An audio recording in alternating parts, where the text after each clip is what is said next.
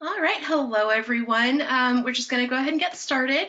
Um, my name is Linda Gerhart. I'm sort of pinch hitting as a presenter for this webinar because the original presenter had some uh, issues she had to deal with today, but um, I'm really happy to be here. I am the Senior Community Engagement Manager for Mightycause, um, and I was able to pinch hit because I actually handle all of our social media promotion and digital marketing for Mightycause, the company who's proud to host Georgia Gives on Giving Tuesday this year. Um, so I'm really happy to discuss this topic with you. Um, and just to let you know, I have Deanna from the Georgia Gives team um, also on the webinar. She's going to be joining me for a Q&A session. And we have Bonnie as well, who's going to be around to help you with any technical issues that you might have um, hearing or seeing the webinar. So if you do have any technical questions um, that you need some assistance with, you can just type that into the questions box of your GoToWebinar panel. Um, so here's a quick look at everything we'll be going over today. Um, it's a small list, but it's quite a lot of content. So we're going to try to keep things moving at a brisk brisk pace.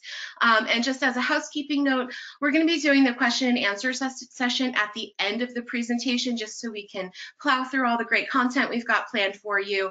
Um, so if you do have a question that you want to ask while I'm presenting, just go ahead and type that into the questions box of your GoToWebinar panel. And when we get to the Q&A portion, we'll make sure to make time for everybody's questions. Um, so before we dive into the nitty gritty of social media on Georgia Gives and, and, on Giving Tuesday, I wanted to pass the mic to Deanna for a minute just so she can um, talk shop with you about Georgia Gives. Hi, everybody. This is um, Deanna Anderson. I am um, new to the Georgia Gives team. I'm serving as a marketing consultant right now and will be part of the marketing team as we gear up for Georgia Gives. Um, just wanted to remind you guys that GeorgiaGives.org is up and running. Um, and one of the great things about having um, my um, here with us today is um, hopefully you all know that that is a new platform for us, and you've received our communications that it's really a five step, easy steps to get your new profile up um, and running and that we are here for support for that. So please do not hesitate to reach out to us if you need any help getting up on um, the new Mightycause platform. Along with that, the toolkit, which um, those of you who have participated with us in the past, is up and running and will be continued to be updated as we go through um, from now until December 3rd when we kick off um, the campaign. It's a great place for resources as you're planning, um, including, you know, templates and upcoming webinars and events, really kind of your go-to source for information. Um, so make sure you check that out. And again, um, if you have any questions about getting your new profile up and running on Mightycause, please don't hesitate um, to reach out to um, us. And then as we go through now until um, actually December 3rd, again, we'll be updating that nonprofit um, toolkit we will be sending out emails. Um, make sure you have joined our Facebook group um, because we put a lot of information there as well. And just know that we're here for a re- as a resource for anything that you guys need to have your most successful Georgia Gives on Giving Tuesday yet. All right. Um, so I'll take the mic again. Um, so you may have come to this webinar um, for social media tips, and we're going to be getting into some nitty gritty platform tips. Um, but first, I wanted to talk um, about social media workflow at your nonprofit. Um, so again, you may have wondering, maybe wondering why uh, you're we're not getting straight into how to target a Facebook ad.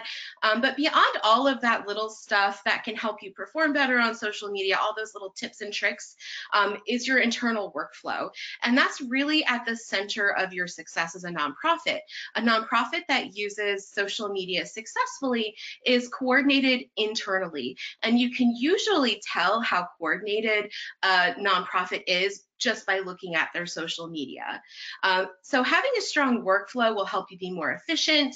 Um, since with most nonprofits and most fundraising campaigns, there are lots of moving parts and anywhere you can streamline and maximize your efficiency is really important.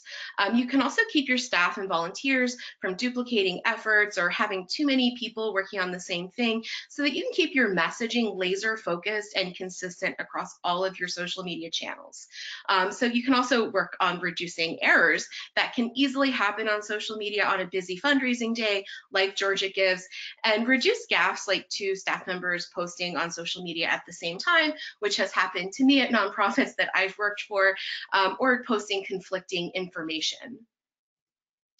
Um, so how social media workflow has worked for me in the past, and I wanted to share this with you, um, is appointing a social media manager for the giving day. Um, so obviously if you have someone who normally manages your, your social media or someone who even literally has that title of social media manager, it's a really obvious choice.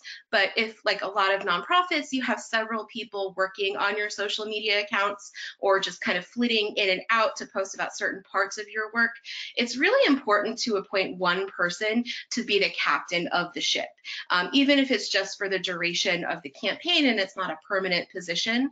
Um, your social media manager will coordinate posts, make sure that your social media plan is integrated with your overall communications plan for the day so that everything that you're saying on social media lines up with what you're saying in emails and anywhere else you're going to be promoting your Georgia Gives campaign.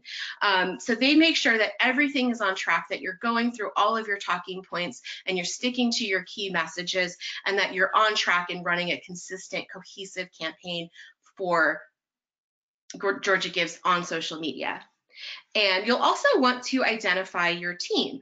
Um, so for a lot of nonprofits, especially ones that are smaller, um, that may be one or two people, but it can also include volunteers who might help with everything from writing copy to taking photos or even putting together a video. So uh, when you're putting together your team, don't leave volunteers out of the equation because they can be a huge help to nonprofits on social media, especially on a day like Georgia Gives where you're doing a lot to raise a lot of money um, and you need all all the hands that you can get on deck. And then once you've got your social media manager and your team, um, you and your team will want to get together and create a social media plan, which will include things like where you're posting, how often you're posting, um, your key messaging and talking points, um, key pieces of content you want to share, and also coordinating any paid advertising efforts and coming up with a proposed budget for ads or boosted posts. Um, when it comes to this sort of planning, I really don't recommend getting too lost in the weeds of thinking about making spreadsheets with what time you're going to post and getting stuck on what time of day is the best date, what time of day is the best time to post. Um, I think it's really important to focus on the big picture, your high level goals and strategy for the day, and just make sure that your team is all on the same page so that, you know, the person who's handling scheduling Facebook posts can worry about actually building out the post and your team can just come together and make sure that your cohesive plan is coming together on social media across all of your channels. Um, one thing I highly recommend as well when you're in this planning phase and getting your workflow together um, is sketching out an editing process um, because social media is generally just more informal than something like an email or a letter, but you still want to put your best foot forward and make sure that all of your posts are copy edited, um, that you have your links checked and everything's working, that images are displaying properly and so on. So I recommend having two pairs of eyes on each piece of content that's going out and that also that includes tweets, that includes Facebook posts. So um, I would want to ask you to get an editing process in place so that you have a you have it solid by the time you get to December 3rd. And then I also recommend meeting regularly with your team so that you can all brainstorm ideas, talk through any issues that pop up, and basically get in sync and get working together and get ready for Georgia Gives. All right, so now I want to talk more about social media planning. I promise we're going to get to the actual tips, um, but first I wanted to go through um, some of the planning steps since that's the phase that you all should be in at this point in the campaign. The first step of social media planning, and this is really just rolled into your general campaign planning, is finding your angle for promoting your nonprofit on Georgia Gives on Giving Tuesday. Um, while general pleas for help can work just fine, it's best to have a focus, like a specific program or initiative, or even just a thematic focus on one thing, and then coming up with a marketing hook around that focus. Um, your hook is basically your elevator pitch Why should people care? What sets your nonprofit apart? What's the story with your nonprofit? What story are you telling? Do you have a, a tagline or a theme? Um, and one good example of a uh, good marketing hook for a giving day is Lost Dog and Cat Rescue Foundation's Giving Tuesday campaign, um, which was a general appeal. They weren't promoting any specific program or initiative, um, but they did have a, a, really great hook and tagline. Um, their campaign, which you can see screenshotted here on this slide, was all about saying yes. Um, they get a lot of requests for help for, you know, assisting animals that, you know, need assistance, that need help, that they are asked to, to take in. And for Giving Tuesday, they had asked their followers to enable them to say yes to helping more animals. Um, and that really resonated with their supporters because ultimately people support a rescue like Lost Dog and Cat because they care about animals and they want to see as many animals get as much help as they possibly can. Um, and the proof is really in the pudding here. They've raised over $47,000 and they had an initial goal of $30,000. And this is a smaller volunteer run animal rescue. They don't have paid staff or professional social media people on their team. This is all volunteer run. So this really gives you a good idea of what a smaller nonprofit can do with just a really focused, well done, effective social media campaign and campaign hook. The next step of planning is identifying your needs. Um, so think thing, through the things you'll need to do well on social media. And one thing you're definitely going to need is images. So figure out what your needs are based on your campaign's marketing hook, and then figure out how to make that happen. Um, so that might entail a photo shoot with a volunteer photographer, but it can also just mean collecting images that you already have into one place. Um, and one tip here I have is asking staff. Um, I worked at an animal shelter here in Alexandria Alexandria, Virginia, and they were a photo gold mine. They had tons of pictures and videos of the animals in the shelter on their phones, and they were a huge help when it was time to plan a campaign. All I had to do was say, hey guys, send me all of your videos and all of your pictures that you have stored on your phone, and I had tons to work with. Um, you'll also want to talk want to consider video, um, which we're going to talk about more later on, because video is a, an extremely effective tool on social media. So think about whether you'll want a really slick, professional looking video with some production values, or again, just pull together videos you have sitting on people's smartphones and work with those. Um, both can be equally effective, and you can also elevate and splice together the random smartphone videos you have um, into something more cohesive with some free editing tools. There's some apps you can download. Um, you can use the YouTube editor, which is free. Um, Kizoa is another program that's free to use. Um, and again, just don't be afraid to ask for volunteer help here because you may have, you know, YouTubers in your volunteer base or people with video editing experience um, that you won't know about unless you ask. Um, something to think about as well as any testimonials or quotes you'll want for your campaign, which is important if you're going to be focusing on the personal effect your work has on people that you serve or you help. Um, these things can take a little time to coordinate since you'll need to do outreach. So think about these needs now and come up with a plan to get what you need from people. Um, in fact, I'd honestly start having those conversations with anyone you want for a quote, a testimonial, a photo, a video. Now, this is a really great time because they can just take a really long time to put together and you'll have to wrap that stuff in together and package it into content. So getting an early start here is definitely helpful. Um, and we're going to talk a little bit more about graphic design needs later, um, but just think about what um, your graphic design needs are. And once again, I'm sorry to sound like a broken record, but if you're small, you can absolutely feel free to ask volunteers. You may have some people with some graphic design experience um, in your volunteer base who are happy to help you out. And then the last step is really just putting all of the different things we just talked about into motion. Um, so start scheduling posts. Um, we'll talk a little bit more about scheduling in the next few slides, but basically scheduling your key content ahead of time will help you tie your social media efforts into your other efforts like email so you have a cohesive presence and plan for Georgia Gives. Um, draft your posts with scheduling tools and edit them. Um, you should be testing links to make sure that they work, looking at images to make sure that they display how you want, and copy editing, edit, copy editing to make sure that no embarrassing typos get posted. Um, again, I recommend having two pairs of eyes on each post so that you can double check yourself and nothing falls through the cracks. Because there's no worse feeling than on a high stakes day like Georgia gives, looking at your social media posts and going, oh gosh, my tweet went out with a typo and I can't edit it.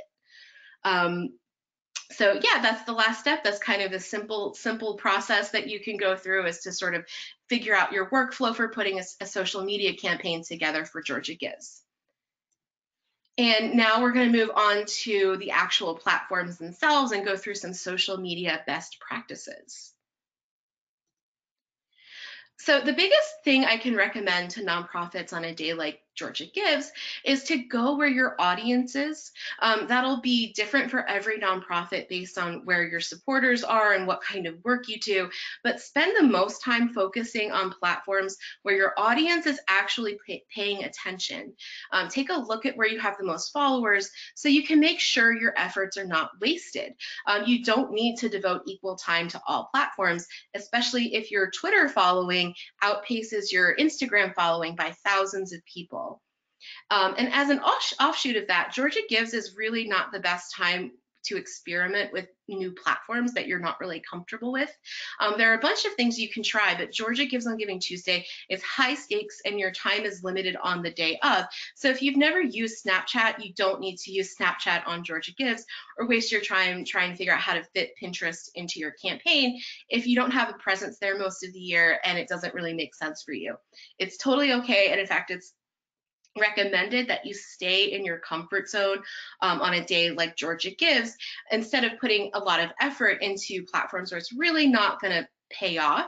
Um, but if you do want to start cultivating an audience on some new platforms um, or build more of a following, um, now is the time to start doing that. So that come November and December, when you really need them to come through, you've spent six months or so cultivating an audience there and getting engagement and building a presence. So now is the time to start posting on Instagram if you're not really an Instagram user and you want to get started doing that for Georgia Gives.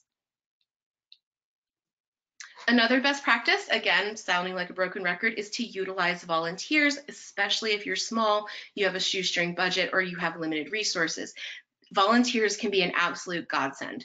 And sometimes nonprofits limit volunteers to certain roles or are worried about giving them access on social media. But there are a lot of people who work in marketing and manage online communities for a living and have great skills to offer you. I volunteer for some nonprofits in my community because I work in digital marketing in my everyday life. Um, so it doesn't make sense for me to wash dishes when I have these other skills that I'm happy to lend to them. So just make sure you ask. If you need something, ask.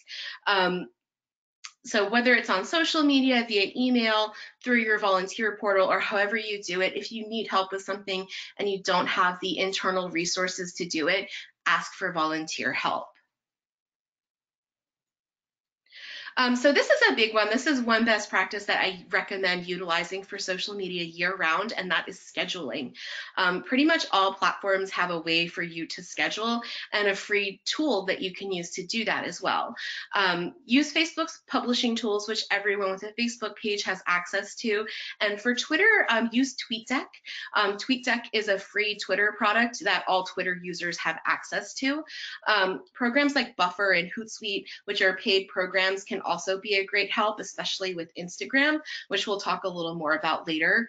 Um, scheduling ahead of time will help you integrate your social media with your larger promotional plan, and you can optimize your posts to win golden tickets and power hours and prizes that might be hourly. Those are not announced yet, so it's kind of hard to put those pieces into place, but you'll have some specific times most likely on the day that um, you, you want to post content so that you have the ability to win a prize. So these tools are available I recommend making use of them as you're gearing up for Georgia Gives um, and save your live posting on the day of for anything that necessitates that. For instance, if you want a prize or hit a milestone or something like that, everything else in my book should be scheduled ahead of time.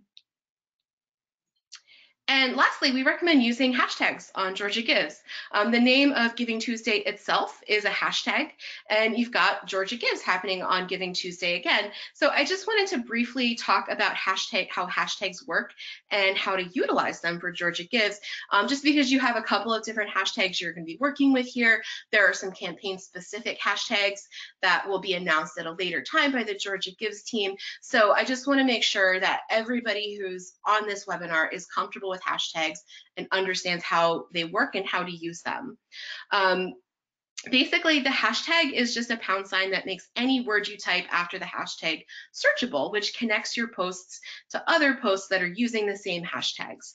Um, they really rose to prominence on Twitter, but now they are used pretty much on all social media platforms. Um, so Giving Tuesday is a hashtag. Um, that's really just the name of the event itself. And I always get lots of questions about this around Giving Tuesday, but it is hashtag Giving Tuesday run together because when you enter a space in a hashtag, the hashtag stops. So if you were to post something with hashtag giving space Tuesday, you've basically just made giving your hashtag and Tuesday was not included. So you're not going to be getting the right searchability that you want. And people who are also participating in the Giving Tuesday hashtag are not going to be able to find you or see your post. Um, this hashtag, um, Giving Tuesday, the event name, applies to the overall global effort, not specifically um, Georgia Gives on Giving Tuesday um, or any specific platform or Giving Tuesday event. So when you want to specify that you're participating in Georgia Gives, you want to use the event hashtag, which is hashtag, hashtag GA Gives. Um, so you'll want to use both of these hashtags on your posts, but I, if you have to choose for whatever reason, if you have a character limit you're bumping up against, um, you probably want to make use of the Georgia Gives hashtag because it's more specific if you have to choose between Giving Tuesday and Georgia Gives, but these are both ones that you are encouraged to use during Georgia Gives. Um, so again, there's just some more um, specific hashtags that you'll probably also need to use on the day itself, and those will be announced at a later time. Um, but if you have any questions about using hashtags, um, we we are going to talk a little bit more about some hashtag etiquette later on, um, especially on some specific platforms. But you can always let the Georgia Gives team know that you're a little bit confused, or just reach out to us at Mightycause. We're happy to help you out, and most of our people are well versed in social media, so don't be afraid to ask questions. All right, so now we're going to move into the type of content that works on social media. And we talked a little bit about this earlier, but these are specific types of content you'll want to have ready for Georgia Gives. Um, you don't necessarily need to do all of these things, but if you did, in fact, do all of these things, we can pretty much guarantee you that your social media posts are going to be more lively, get more clicks, and get more get more uh, engagement on social media and your campaign's branding will be stronger. Um, first, as we talked about earlier, you're going to need some stories. Um, that includes testimonials, quotes, permission to tell those stories if they belong to other people, and it can also just be a general campaign focus and story that you're telling about your nonprofit. Um, a general story can work, but even within a campaign that's about a larger program, it's helpful if you're able to, um, to have real stories of real people that have been helped by your work or examples of how your work and your programs and services look in action. Um, and that helps build a, an emotional connection with followers and inspires them to donate. You'll need images, and in many cases, this is just gathering everything in one place, as I mentioned. Um, you'll want to think about video because while it's not a requirement, it does really well on social media and can really help your nonprofit be seen on social media. And video is also just a piece of content that inspires people to donate because it's a multi-sensory experience for the person who's watching it. So it gets people's brains engaged and gets them involved in a way that a bunch of text really can't. Um, think about other graphics you might need, like a logo that's specific to Georgia Gives, um, an infographic, and even just things like Facebook cover photos and Twitter banners and avatars that have some Georgia Gives branding to them. And finally, you'll want to think about copy, which is the stuff that pulls all of these elements together. Um, so I want to talk for a minute about the storytelling aspect of content because it's really important and kind of dictates whether or not your content is successful on social media. Um, at the heart of it is whether or not your story is successful and gets people involved. Um, the first thing you've got to do is find a story and then find smaller stories that fit within that. I really recommend crowdsourcing this when you can um, because sometimes um, people around you can remember things that you didn't. So ask staffs, ask volunteers, ask other people who are involved with your work. Um, and sometimes people are just in a better position to see these stories in action. Um, so, you know, ask your staff, ask people who work in your centers and work with the public. And one thing that you can do is sort of use that as a litmus, litmus test. If somebody comes to you with a story and then two other people come to you with that story, you can feel pretty confident that that is a good story. Um, one thing I've also done before is just browse through my photo files and see what I've got. And if there are any images or videos I already have that stir up an emotion or a memory in me that I could potentially use to tell the story on social media.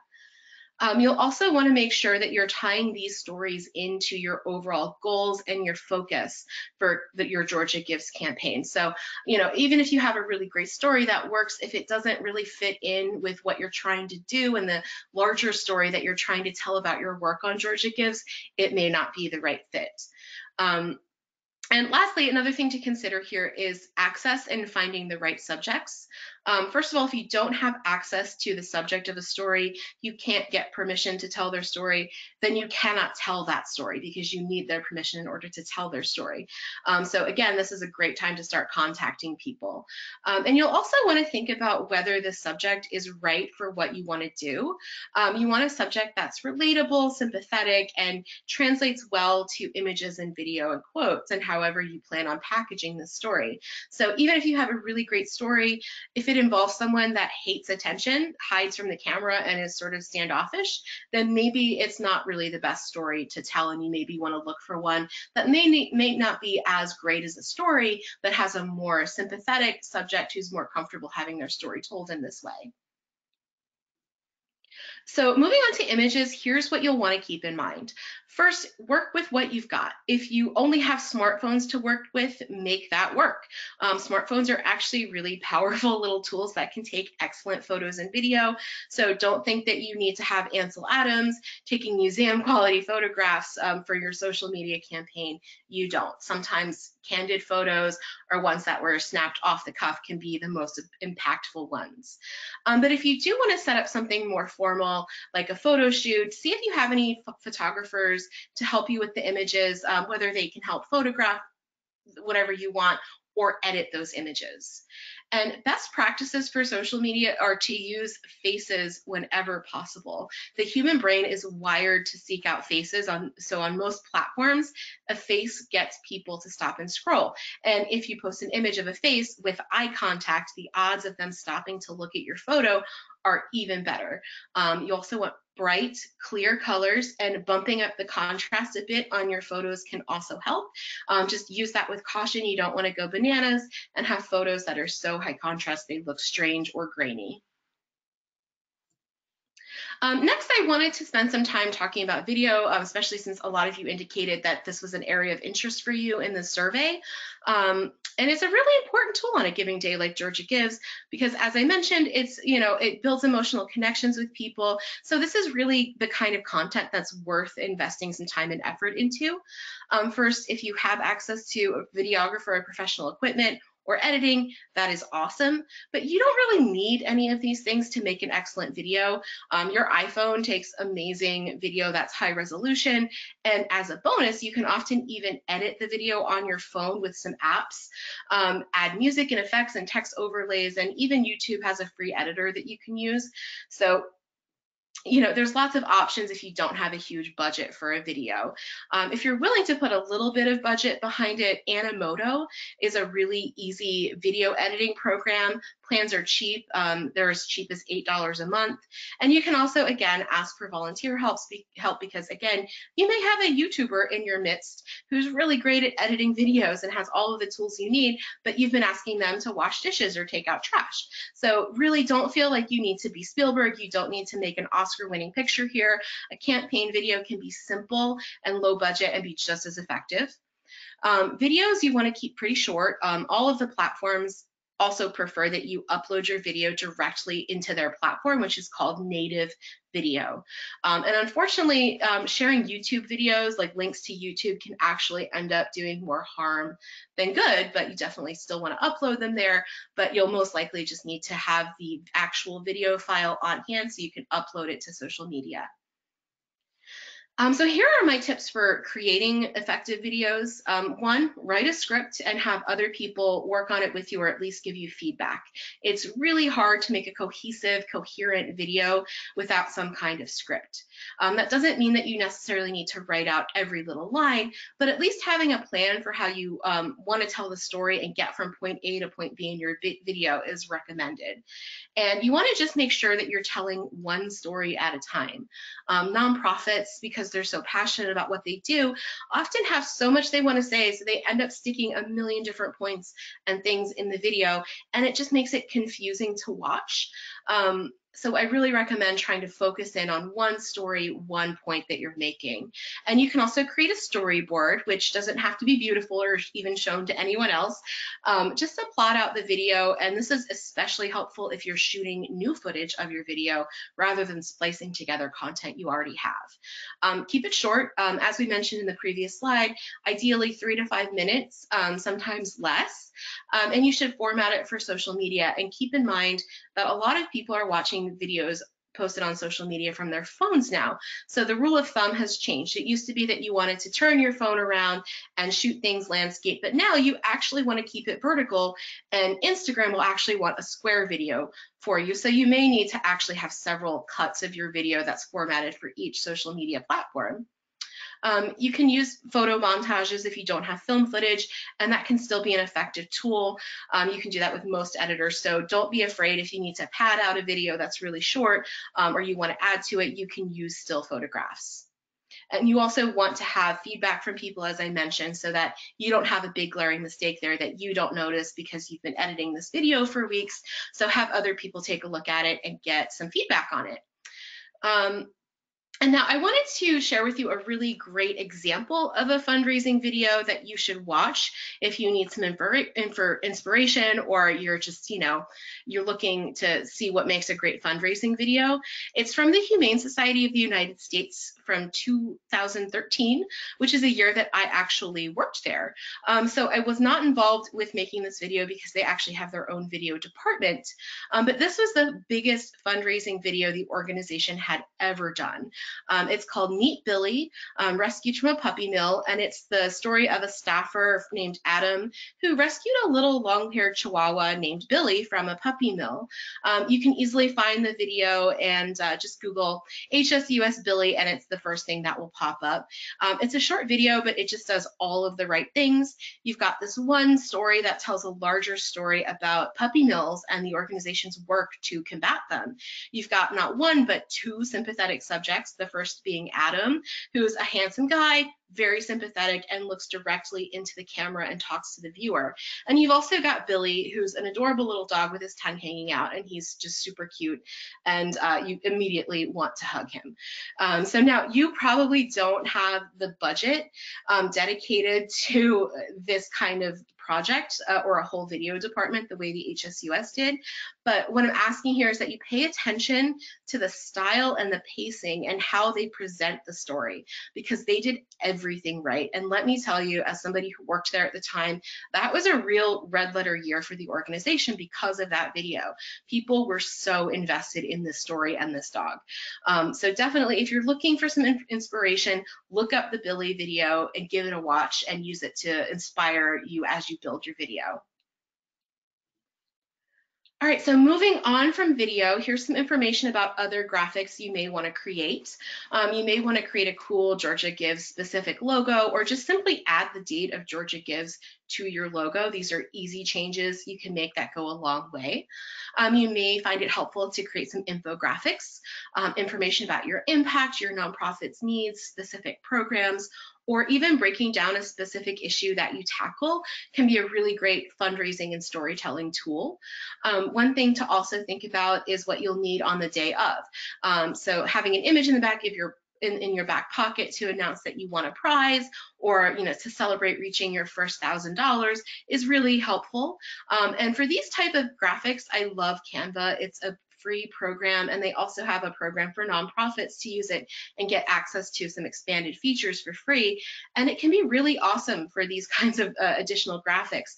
They also have templates for things like facebook cover photos and youtube banners um, twitter banners and it's super easy to use and effective. I know photoshop and xd and other editing programs um, but i still use canva for a lot of purposes as in my role as a marketer because it's just so easy to use and very quick to make a, a slick, professional looking graphic, especially for so social media. And finally, we're going to talk about copy and what kind of copy works for a day like Georgia Gives. Um, first, you'll want to draft things and have at least two people review it. This does not mean that you need to do it in a Word document. You can plug them into your uh, scheduling tools and have people review it there so that it makes sense in the context of that platform. Um, you'll want to keep your copy easy to read, accessible, and approachable. And that means keeping it um, clear, direct, and avoiding the use of jargon and inside baseball terminology that probably does not make sense to people outside of your nonprofit or your field of work. Um, emojis are totally okay to use with social media, um, but just be careful and judicious with them um, and make sure that you know what they mean since a lot of them can have double meanings. And you don't want, and you also want your copy to be skimmable since you're not writing the next great American novel, you're writing a social media post. So break up that text text and try to avoid giant walls of text. All right, and so now we're going to move into some specific tips for um, platforms on social media platforms. On this webinar, I'm really sticking to the big three, which are Facebook, Twitter, and Instagram, um, because if we discussed every platform in depth, we'd be here all day. And frankly, these are the platforms nonprofits use most prolifically. Since there aren't many um, nonprofits using something like Mastodon, um, we're going to stick with the big three, and we're going to start out with Facebook. Um, so Facebook had a golden age where it was basically like free democratized marketing for nonprofits back from like 2010 to 2014 and or so. But it's changed a lot since then, and now it's actually got some specific challenges for nonprofits. Um, first is the problem of decreased reach on Facebook, which is something nonprofits and companies have been noticing for a few years now and has really only gotten worse. Um, in 2017, Facebook made some significant changes to their algorithm that prioritized family members and friends in people's feeds. And they made even more changes in 2018 that made conversation and interaction an important factor in whether or not Facebook decides to put a post in a user's feed. Um, so that's a really great feature for users, but it, it does have some consequences for nonprofits that are using Facebook pages to connect with supporters. Um, they also have some new advertising rules, which are basically a result of what happened during the 2016 election. So their advertising guidelines have gotten more strict, and you'll find that if you skate the edge of these rules, your boosted post or ad might get flagged a lot more easily. Um, so this may not be a huge uh, challenge for an animal shelter or a food bank, but for nonprofits who do work that's more political, um, it can be a huge barrier to getting your ads through the review process. Um, as a result of Cambridge Analytica and the election, users are also a little bit more wary of Facebook and filtering to other platforms um, and cautious about things like making donation and clicking links on Facebook. Um, also, this is a big one. Um, Facebook rolled out their own fundraising tools, which compete with tools like Mightycause, and they market those pretty aggressively. So you've all probably noticed if you post something on Facebook with the words nonprofit or charity or donate in it, you might see a prompt to start a fundraiser. Um, they also market pretty heavily to users having birthdays, asking them to fundraise for charity, um, and all's fair in love and war, but it does cause some confusion when your nonprofit has chosen another platform for your fundraising or you're participating in a day like Georgia Gives that is hosted on a specific platform. Um, so we've seen it cause a little bit of confusion for nonprofits and donors. So the good news is that there's workarounds for nearly every challenge we discussed. Um, the first tip is to post algorithm-friendly content. Um, it's worth noting that no one really knows for sure how Facebook's algorithm works because it's changing, it's mutable, and um, to some degree it's unique to each user based on what they interact with and how they behave on Facebook. But there are some things we know perform a little better on Facebook. Um, Facebook Live is a great way to be seen because of all of your followers. Um, all of your followers who have not turned off those notifications for Facebook Live will actually get a notification letting them know that you're live, um, which will prompt them to view your video. Um, Facebook is focusing a little bit less on stories these days, but they're still a great way to be seen on Facebook. They've also added a new feature called Watch Party. Um, it's actually not that new. I think it came out in 2018, where you can invite people to come watch a video with you. It can be your video or somebody else's videos. Um, it would be a great way to launch your campaign video. Um, and it's really great for expanding your reach because the idea is the people that people will bring other people in and tag their friends. Um, so you can get more people watching the video and, and absorbing your content. Um, some old standbys like native video, meaning video files that have been uploaded directly into Facebook and images continue to do well. Um, and some marketers are noting that long text posts, which were once a complete taboo and something you should never really do, are seeing better engagement and better results, um, largely because people need to click the read more button to keep reading, which means that people interact with it. So that can be something you can experiment with um, leading up to Georgia Gives just to see if it helps your post reach and engagement. Um, but I recommend breaking up the text if possible because um, Facebook actually allows you to use bullet points and lists now, so might as well break up that content and make it easier to read. Um, tip two is to boost posts, target them well, and plan ahead. Um, so obviously Facebook is a for-profit company and they like when you give them money. Um, not only does an ad or a boost help your post reach more people, it also means you're usually rewarded with reach for subsequent posts when you spend money. So that is something magical that happens when you give Facebook money. Um, so come up with a budget and it really doesn't need to be much. It can be a boost of like 10 or $20 for a key post on on Georgia Gives, but consider asking the powers that be at your nonprofit for a little bit of advertise, advertising money to play with. Um, now, I've had people report to me that they boosted posts, that they didn't see results, or they got clicks from people who were across the country. And the reason for that is that they were not targeting properly. Um, if you don't give Facebook information about who you want to see your ad or boosted post, it'll just kind of haphazardly blast it out. Um, and that's not really an effective use of your money. So play around with Facebook's targeting tools and make sure that you have, uh, if you have money to spend on an ad, it's being seen by the right people.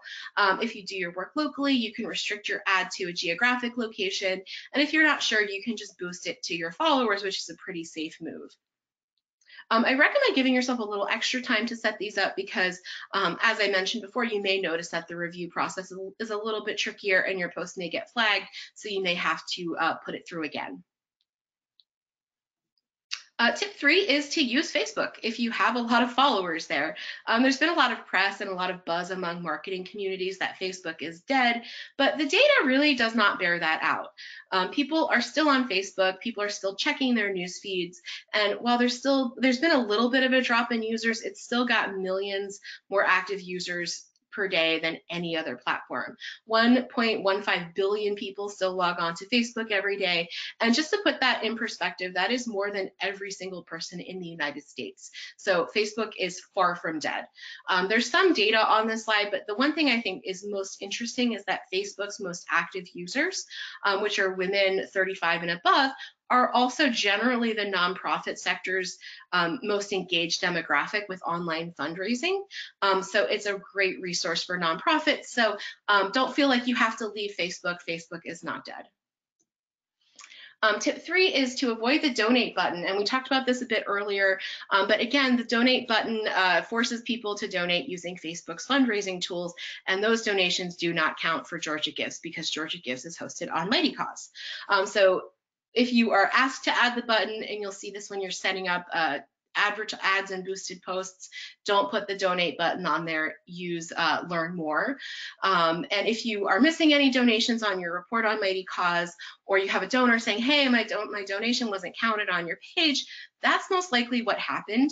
Um, and what you can also do is ask to see their receipt and that'll sort of give them some idea, you'll give you an idea of where their donation may have processed.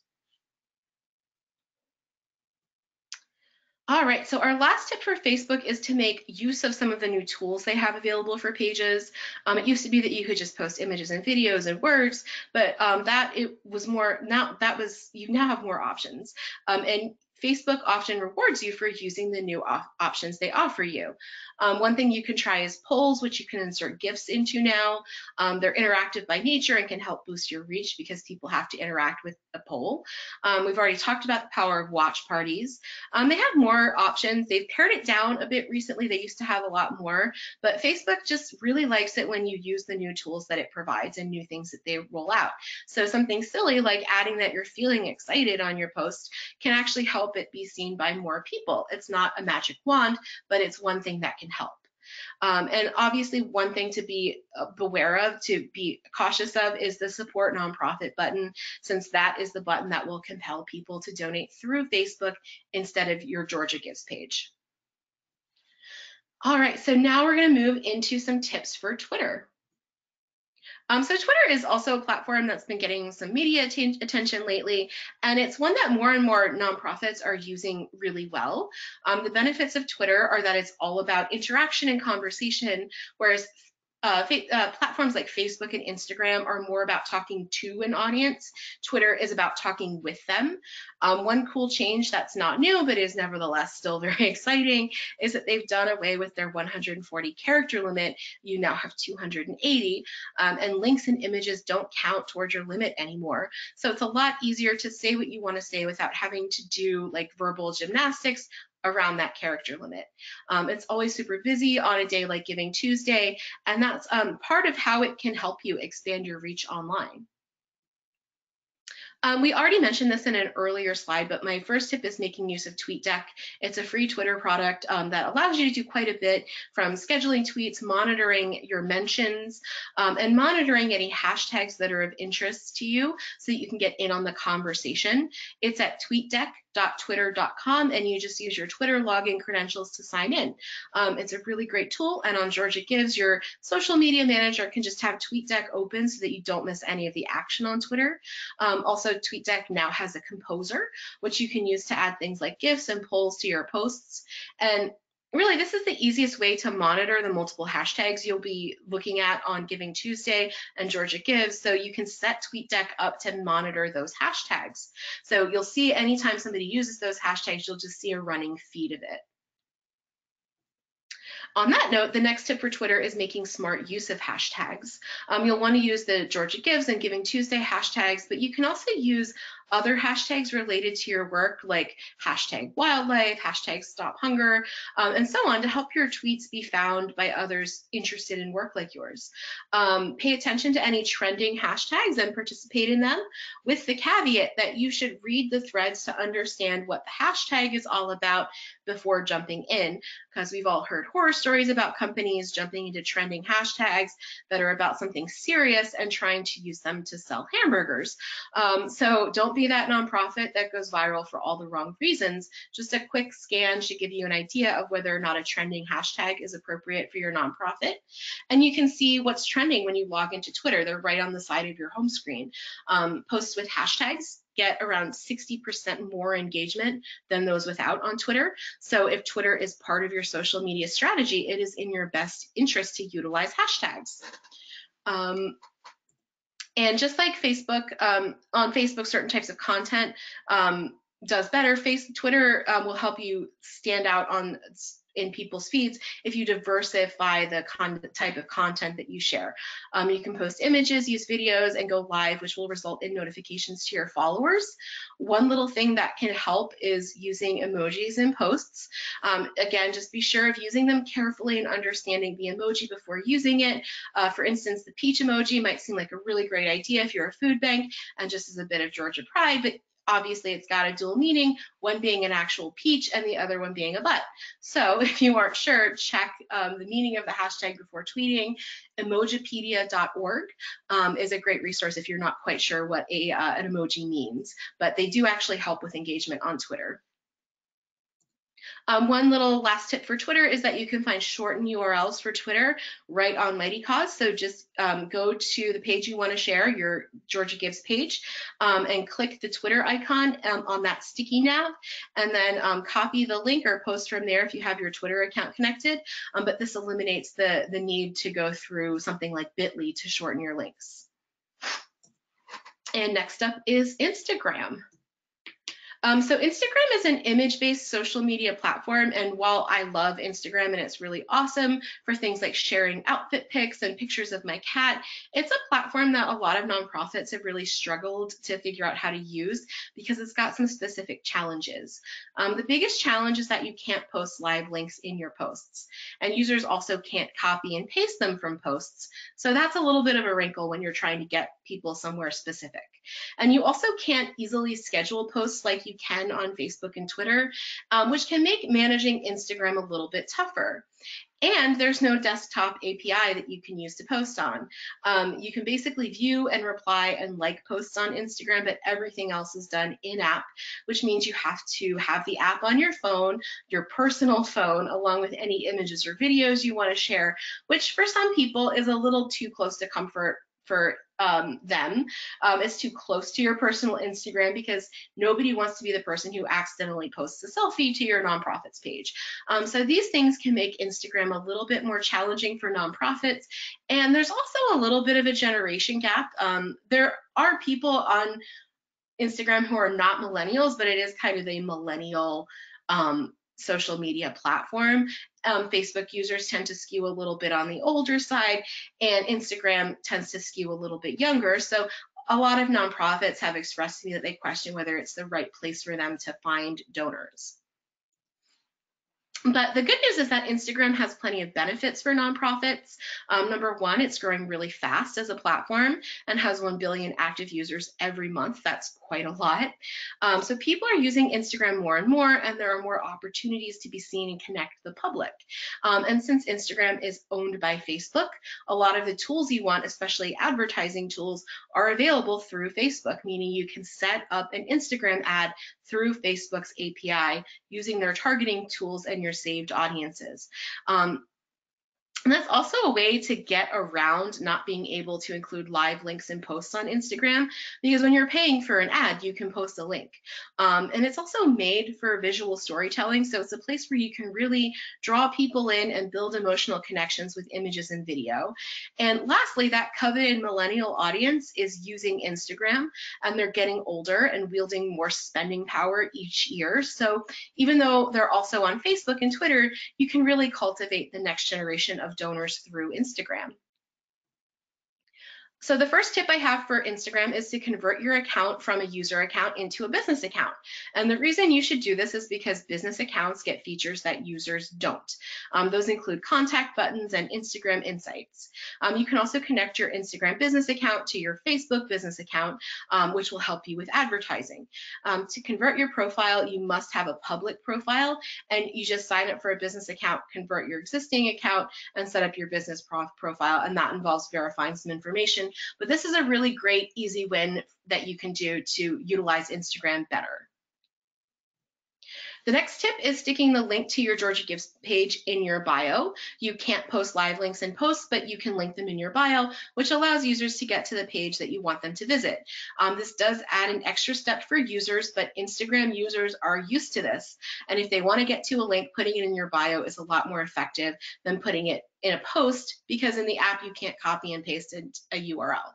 So put the link there and in your post and, and in your post just mention that they can visit your page to support you by clicking on the link in your bio. Um, so one of the coolest things about Instagram is stories. Um, Instagram, sto Instagram stories were developed in response to the popularity of Chatnat, Snapchat, sorry, I couldn't say that. And they function similarly. And in fact, Instagram stories were kind of a daylight theft of Snapchat's technology. Um, but that's a story for another time. Um, stories are live on Instagram for 24 hours and then they disappear unless you add them to your profile as a highlight or you cross post them to your feed. Um, the great thing about them them is that they're real time. So Instagram uses an algorithm like Facebook does. So sometimes users will see posts and content a few days after it was posted. But since stories have a limited shelf life, they're a way to be seen when you want to be seen. Um, in the apps, in the app stories are um, from, from accounts that people follow are listed right at the top of their feed. So they're super visible and easy to access. And as an added bonus, if you've never posted an Instagram story before or haven't posted one in a while, your followers will get a notification that you posted a story, which is a huge boost. Um, if you do a live story, people will also be notified that you are live. Um, and there's a lot of fun stuff you can do with Instagram stories. Um, you can post text and photos and video, but you can also use filters, um, use Boomerang to make short mini videos, which is a cool way to showcase short events like throwing confetti, jumping, and so on. Um, one of my favorites is Super Zoom, um, which zooms in and adds music and effects, and you'll really just have to experiment with Super Zoom to see what it can do, but it's definitely a way to sort of bump up the humor and cute factor of your posts. And you can also do face filters if you have someone from your org talking about a campaign with dog ears you may want to do that if that's your thing. Um, and there's also GIFs and, and stickers and all sorts of fun stuff you can add into your stories. Um, one thing they just rolled out recently was the ability to have people ask you questions, um, which you answer in stories as well. So that's great engagement. And you can also add polls, which again is fantastic engagement. And just as a note, if you have um, 10,000 followers or more, you can add links into stories, um, which users can access by swiping up in the story. That's a really high bar if you're not Chrissy Teigen, um, but if you have those kinds of followers, you have that option available to you. Um, my next tip is about finding inspiration for Instagram because if you do want to figure out how to do well on Instagram, but you're kind of struggling to know quite what to do, it really does help to look at nonprofits who are using the platform really well. Um, look for large nonprofits in your area of interest. Um, like if you're an animal shelter, you may want to look at the ASPCA or the Humane Society of the United States. If you run a food bank, check out what Feeding America is doing and just make note of what kinds of things they're posting, what kind of content they have have, what hashtags they use, and so on. Um, these larger nonprofits have huge teams of people managing their social media, so you can easily get some ideas for how to use Instagram effectively from the big dogs who are doing it. Um, one nonprofit that always does a really awesome job on Instagram is Charity Water. It's actually kind of annoying how good they are at it, um, but they're a great charity and they really have been able to harness the power of Instagram well. And you'll also notice that most of their photos feature people more often than not, and they're usually looking directly into the camera. And they've also bumped up the contrast of their photos just as a callback to the easier, uh, the earlier slide with some best practices. Um, so hashtags are a big deal on Instagram and Instagram actually lets users follow hashtags which allows them to put posts with a particular hashtag in their feeds. Um, so it can be a huge boost if you learn to use hashtags well and since there's no character limit you can really just dump a lot of them into your posts. Um, we recommend hiding them to keep the post neat if you're going to use a ton of hashtags which you do by adding four or five periods in their own lines at the ends of your end of your posts. You can also use emojis, um, and you can see an example of how that's done here on the slide. Um, and you can also dump additional hashtags into a comment, which also just keeps them out of the, the main meat of your post and gives you the benefit of having a comment on your post, which is important because Instagram really looks at early engagement on posts in their algorithm. Um, so do some hashtag research to find out what people are using on Instagram. Um, for instance, animal rescues, things like adopt, don't shop, and cats or dogs of Instagram are active hashtags that gets get used millions of times. And actually, when you start typing in a hashtag or tapping it in, as it were, Instagram tells you how often that hashtag has been used. Um, so try to use ones that are popular and used often. All right, so we're in the home stretch. I know we're running up on our hour, um, but before we take questions, I really just wanted to quickly go through some other social media platforms you may want to use on Georgia Gives. The first is Snapchat, and when it comes to Snapchat, it's something that I find um, a lot of nonprofits are really just confused and intimidated by. So before we go any further, ask yourself, whether you use Snapchat like at all in your fundraising. Um, if the answer is no, I'm officially absolving you of any obligation to use Snapchat that you may feel, because as we said earlier, you want to spend the most time and effort where your people are. So if you're really itching to use Snapchat for Georgia Gives, one thing that can be really effective is a Snapchat takeover. Um, now that could work in a few different ways. It could be you taking over somebody else's Snapchat, like a sponsor or community partner, or even a local like Snapchat celebrity, or you can invite someone higher profile to take over your Snapchat on Georgia Gives, which means that they can promote it to their followers and you'll get a little bit of extra traffic. Um, so LinkedIn is one that you should definitely use, and it's a social media platform, but the rules are just really different on LinkedIn. Um, to effectively utilize LinkedIn on Georgia Gives, I would recommend having your C-suite staff or your executive director and director level staff leading the charge on LinkedIn, since those are probably the people with the biggest and most active network on LinkedIn. Um, your board of directors should also be posting about Georgia Gives too, so don't forget to ask them, um, because your board members are often like insanely well-connected people. Um, you can also tap any sponsors you have, any partners to help you get some traction on LinkedIn and talk about their own connection to your nonprofit and your campaign. Um, you can also post on groups on LinkedIn, um, though definitely read the rules of the group before posting and, and, sort of ingratiate yourself to the group before you post uh, promotional stuff. Um, and it's a place where content is really important. So having things like blog posts, guest blogs, and so on are really great for generating traction on LinkedIn. Um, you can definitely just post to your Georgia Gives page, but things like guest blogs that other people can promote on LinkedIn as their work or something they're involved in are more helpful. All right, so this is the last platform. Um, Pinterest is the last one. And again, ask yourself the same question about Pinterest that you asked yourself about Snapchat. Do I use this platform and will I ever use it again? Um, if you do want to use Pinterest, I recommend signing up for a business account because it has different terms of service and you'll gain access to Pinterest's educational materials. Um, Pinterest is a virtual pin board and it's almost entirely image based. So choose your best, most arresting images and consider what kind of content does well on Pinterest. That's how-tos, instructional images, and infographics. And you should also add keywords to your pin in the title, description, and file name so that your image is searchable and people can find it. Um, and one last interesting thing to note about Pinterest is that I think it's the only social media platform that um, doesn't have images where people's faces, images of people's faces do not actually perform better. They perform and repinned are repinned less often. And lighter images with kind of a wash that slightly makes them look overexposed tend to get pinned more often. So it's just kind of interesting because the rules are a little bit reversed with Pinterest. Um, but those are just some tips if you do want to utilize Pinterest in your Georgia Gives campaign. All right, so I made it exactly to noon. Um, I did want to open up the floor to questions um, and get Deanna back on in case you have any um, specific questions about Georgia Gives. So if you do have a, a question, um, feel free to grill me about any social media platforms. Just type that into your questions box. And um, I know a lot of you may have to sign off, so feel free to do so, but I'm happy to stick around and answer as many questions as you've got. Um, all right, so the first question is about Instagram. Um, Instagram doesn't have a publishing tool platform, is that correct? Yes, they don't actually have a publishing platform that you can use like uh, Facebook's publishing tools where you can schedule posts.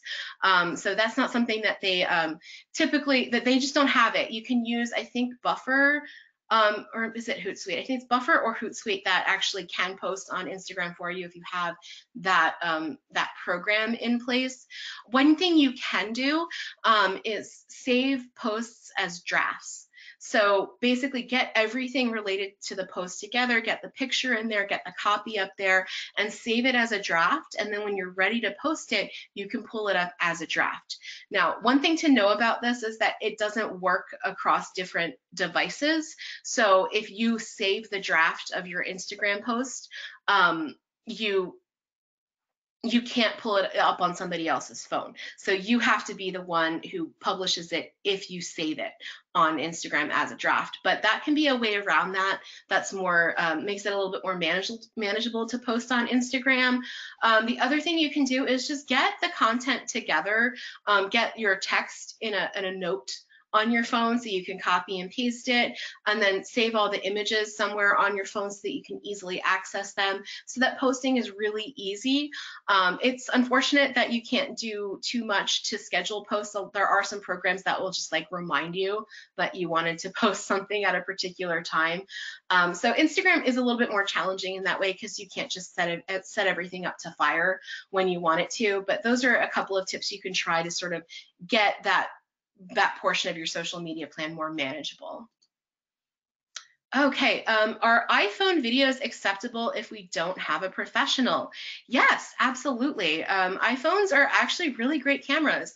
Um, I have a, a, Samsung Galaxy myself, and it's a really um, it has a great camera. It's a fantastic camera. It's not, you know, Spielberg's not going to use it, but it's a really great camera if you need to take an image. Um, so definitely use an iPhone video, and it doesn't need to be the best quality. Um, it really is just all about the content that's in the video. Um, just as a story, um, I have a giving event um, that has that features um, great apes, and they had a lot of videos that were just you know people's iphone videos. The staff would just catch a, a you know a chimp doing something kind of cool and they would take a video of it and they would splice those videos together and create um, a video that was really fantastic. They would just use the um, an editing app on their phone and they did really well. So you know the average person we're so used to seeing mobile generated content that it doesn't really matter um, if you have a professional video or if it's just something that your staff put together on their iphones because um, we're used to seeing both on social media. So the because it's social media we're used to seeing videos that were built on people's phones. Um, it doesn't matter and you can still make a great video. It really just comes down to the content. Um, if you wanted to do something a little bit fancier you could try splicing together some iphone videos um, with some uh, you know, still photos and some text overlays and get fancy in that way. But it, it, really does not need to be as fancy. And sometimes nonprofits will shy away from video because they're scared uh, that they're not doing a good enough job. But really, if you get good content and good shots, use whatever device you have at your disposal. You don't need a professional videographer if you don't have access to one. Um, this is a question for Deanna. Um, somebody wants to know when can they expect the Georgia Gives toolkit? So the toolkit is actually live on georgiagives.org. Um, if you go into, I already have it pulled up, but um, and it has all of the information um, that you need um, that we have right now. So it has a link to the private Facebook group. It has a link to our Facebook, Twitter, and Instagram. It also has a free training on demand webinar that actually talks about the new platform and how to get started. This is also where we'll update all of the webinars, training opportunities, and events moving forward.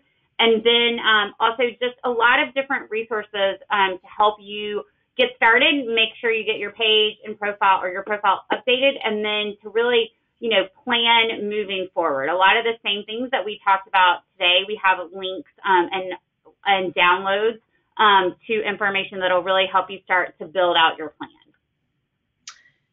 Thank you. Um, and we actually have another question for you, Deanna. Um, how early do I need to start registering on the platform, and when do I need to send out my first communication? I'm happy to take take the second question. Okay. Um, but yeah, if you want to address registration. So today is when you should start putting your profile up. Um, really, the sooner, um, the better. Um, you know, we will have additional trainings over the summer, and then our kickoff event is in September. And you know, um, the sooner the better. That way, if you have any challenges, we can help walk you through. It really is five easy steps to get your profile um, updated. So we're encouraging everyone um, to do it as soon as possible um, and to really use that as a kickoff to start getting your plan in place. Okay, and so the second question about when to send out your first communication, um, it's really never too early. Um, you know, when your page is kicked off, I'm not sure, Dana can maybe address when donations open, um, but that is a perfect date to sort of, you want to start teasing it before they open so people have a heads up. Say, hey, we're participating in this. It's really great. We have, we can accept early donations starting on this date. So give people a heads up, announce it when donations open, and then just start hitting them. But it's actually not too early to start um, sort of in the background including some Georgia Gives information. So if you send out an e-newsletter or even a paper newsletter, um, you know, including that in your, you know, list of upcoming events. Um, that, that way it's sort of you're jogging people's memory. They know about it. They've seen it. It's familiar. Um, it's not too soon to put it on your website. It's not too soon to, you know, put it in the background of things, even if you're not going to be um, promoting it really heavy yet and you're still putting, uh, you know, the pieces in place. Um, but yeah, like it's never too soon to start mentioning it. Um, but in terms of when you want to send out like your first big email and your first big social media post, um, you want to give people a heads up before early donations open and then do a big push when donations open. Um, and you also, I also recommend letting some people who are in your inner circle, um, so big donors, um, folks that you know you can count on to donate to you campaign after campaign, um, getting those seed donations from people and saying, hey, uh, uh, here's a personal email. We're participating in Georgia Gives. I would really love it if you could check out our page and um, you know make a donation just to get us started. Um, that kind of personal contact with people who are in your inner circle. Um, Board of directors is a great great um, you know great place for seed donations um, just to get you started um, you can start that you know really when donations open and start letting people know getting it on calendars um, as soon as possible um, but I hope that answers the, the question. Um, and this is Dana. And once your um, page is live, you can actually start taking donations at that point. So once your profile is complete, which is the five steps, um, you are it is open for donations at that point and or pledges. So um, the sooner you get your site up, the better. Yeah, definitely. Um, and the setup is really easy on Mightycause, our support staff is here to help you through the transition to a new platform. So if you need any help, um, technical help, um, or you're just like, I don't know how to get this on there, or I don't know where to find this, um, our support team is available to you. It's support at mightycause.com is the easiest way to reach us because we can actually like send you links and show you how to get to things. Um, but don't be afraid to reach out to our staff because we're here to support you throughout this whole process. Um, so as you're getting things set up, it's five easy steps, and I think you'll find it really intuitive, but our support staff is here to help you out. Um, and this looks like the last question we've got. Um, are we able to get a copy of the slides or access the meeting later? Um, so Deanna can also fill in the blanks for me, but um, you'll be able to find this on the Georgia Gives website once we have a chance to upload the video to YouTube and embed it there. So you will have access to the recording and I'll send uh, Deanna and Bonnie the slides so that they have them and can put them there eh, or send them in an email, whatever you guys want to do. Yes, so they will be um, on the website. Um, they'll be both on um, Georgia Center for Nonprofits as well as Georgia Gives. And then we also will send an email out um, that will give you access to the PowerPoint as well as to a link to where the recording is. And we hope that you share it with anyone who is not able to join us today. And if you have colleagues that had signed up and weren't able to make it, if they registered, they will also get the email with the recording and the PowerPoint as well. Awesome. So I think that's it. I totally went over time. So thank you all for staying on with me a little bit later than intended. Um, and yeah, I think that's all we've got. So thank you to Deanna and for Bonnie for letting me give this webinar. It's one of my favorite topics. Um, and we're really just excited um, as Mightycause just to host this, this incredible day. Thank you guys so much for joining us. Bye guys. Bye.